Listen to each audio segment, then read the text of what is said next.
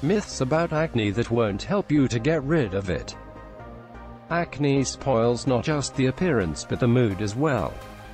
Acne treatment is tightly connected with lots of myths that will not help to defeat this problem, and they might even make things worse. Brightside presents the most widespread myths and shares how to protect your skin from harm and get rid of acne as quickly as possible.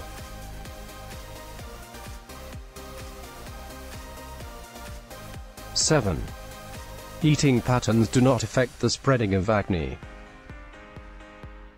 There is old research that claims there is no connection between diet and acne, but modern science proves the exact opposite.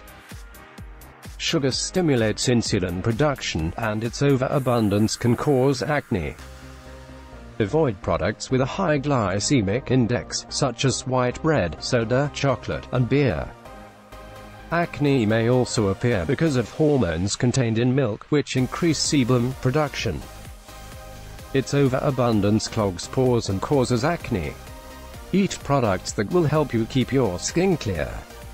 Products with a low glycemic index, such as whole wheat bread, cashew nuts, cauliflower, and cucumbers will help to reduce acne spreading.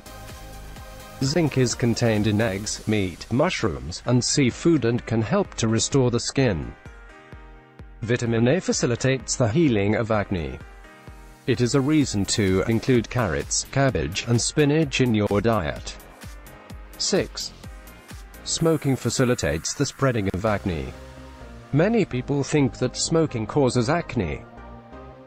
Undoubtedly, tobacco use is a bad habit, but it doesn't evoke acne spreading. Smoking worsens skin regeneration, and acne heals more slowly. If you quit smoking, you'll see that you look better. The oxygen flow to the skin will increase, and the recovery process will go faster.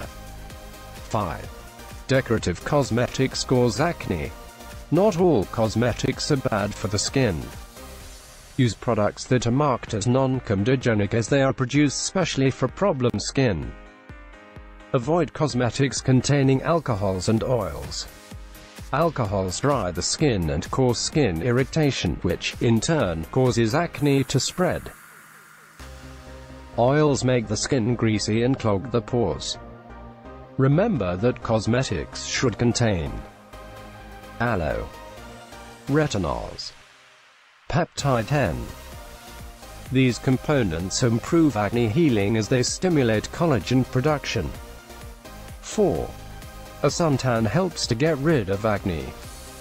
UV rays stimulate the work of the sebaceous glands, causing the emergence of new acne. That's why tan is forbidden if you have acne. Use a sunscreen for problem skin. It will protect the skin from sun rays and acne spreading. 3. Stress causes acne. New pimples are not a result of stress. But if you already have acne, stress can worsen the situation. The wound and post-acne healing slows down. 2. If you wash your face more often, acne will go away. Acne, as well as blackheads, is caused by the clogging of pores with an excess of sebum. That's why you may wash your face as many times as you want, but the acne will not be reduced. Thorough face washing will cause further irritation. Sponges and facial brushes traumatize the skin and don't clean it. It's also a reason not to wipe your face with a towel. Just pat your face dry with a towel or a napkin. Sulfate-containing SLS-SLES soaps and cleanses overdry the skin. 1. Toothpaste helps to get rid of acne. Toothpaste contains baking soda, essential oils, hydrogen peroxide, menthol, and triclosan which can certainly dry acne but can also cause irritations and rashes.